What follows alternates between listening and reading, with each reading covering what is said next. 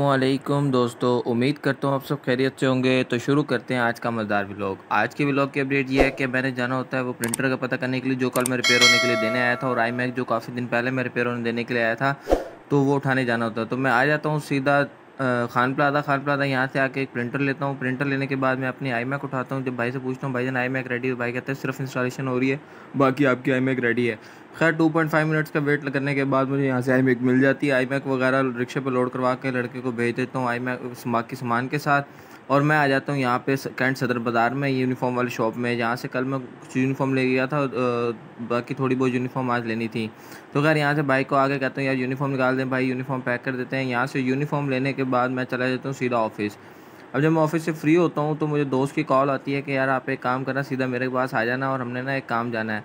खैर, मैं यहाँ से ऑफ़िस से फ्री होकर सीधा चला जाता हूँ अपने दोस्त के पास। यहाँ पे उसको उठाता हूँ, उसको कहता हूँ तो बाइक चला। मैंने पीछे बैठ के वीडियो बनानी है। ये बाइक चला रहा होता है और हम चले जाते हैं सीधा हुसैना गई हुसैना गई से इसने अपने लिए कुछ थोड़ा सा सामान लेना होता है। हम आ जाते हैं सीधे इस मेहंदी वाली शॉप पर यहाँ से हमने, यहाँ से हमने मेहंदी का थोड़ा सा बहुत सामान लेना होता है। तो ये भाई से रेट वगैरह तय कर रहे होते हैं। तो हम यहाँ से एक टोकरी लेनी होती है।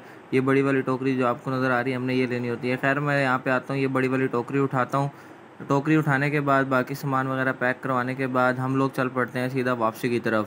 अब हम रास्ते में जा रहे होते हैं तो दोस्त कहता है, यार, भूख लग रही है। मैं कहता है, यार, भूख तो मुझे भी लग रही है, क्यों ना जाके गुलशन मार्केट से मदीना यखनी पुलाव खाया जाए?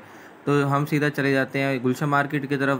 टेन पॉइंट फाइव मिनट का सफ़र करने के बाद हम आ जाते हैं सीधा गुलशन मार्केट। यहाँ पे मदीना यखनी पुलाव पे आते हैं। यहाँ पे जब एंटर होते हैं तो इनकी एंट्रेंस वाकई इनका जो अंदर का इन्वायरमेंट होता है वो बहुत प्यारा होता है।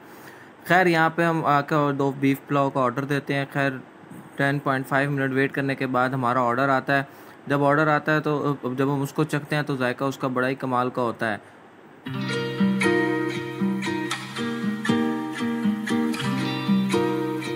यहाँ से खाना वगैरह खाने के बाद हम लोग चल पड़ते हैं वापसी अपने घर की तरफ़। उम्मीद करता हूँ आपको व्लॉग पसंद आएगा व्लॉग पसंद आए लाइक कमेंट सब्सक्राइब शेयर लाजमी कीजिए।